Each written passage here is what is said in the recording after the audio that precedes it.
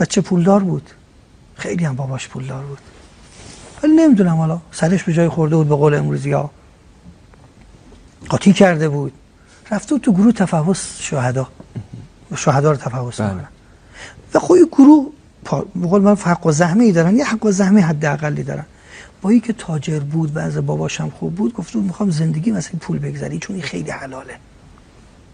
اتفاقا تفحص من می‌خوام بگم میشه آقا جو. تفحص بودجه نداشته خیلی. یکی دو ماه به اینا پول ندادن حقوق ندادن. اینم خجالت کشیده بود بیاد اهواز خونهشون هم اهواز. بله.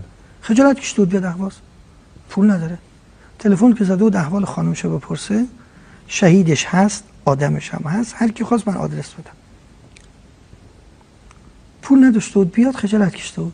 خانمش گفته بود که آدم درست حسابی حالا گذاشتی رفتی پلو رفیقای شهیدت ما رو تنها گذاشتی. خرجی لاغر برامون بذار.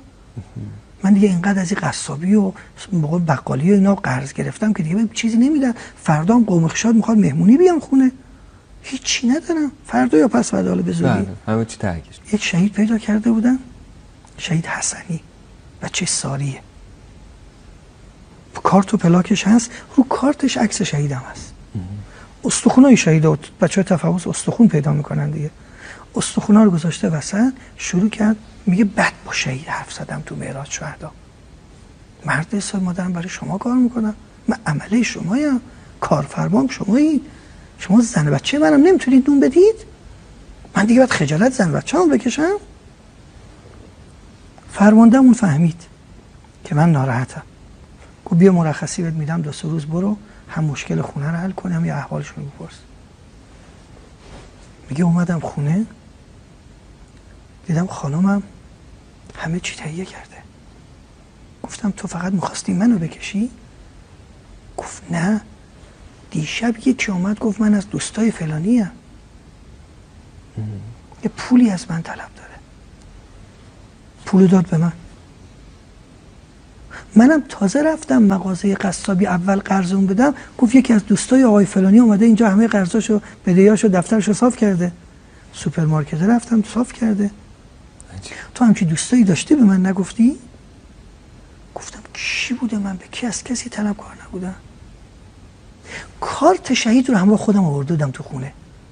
عیالم رفته و سر طاقچه کارت شهید رو دیده بود. گفته بود فلانی خود این بود. عجیبه.